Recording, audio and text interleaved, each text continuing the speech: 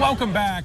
They call it yarn bombing, and if you've been on Division Avenue this week, you have probably seen this ArtPrize entry. A lot of it. Here's a look at the finished product. Trees, signposts, and light poles are all covered in yarn from Cherry to Fulton Streets. Tonight, our cameras were there as those behind Division Fibers met to keep working on their entry. They've been inviting anyone who wants to help to come every Monday and Thursday to keep making covers.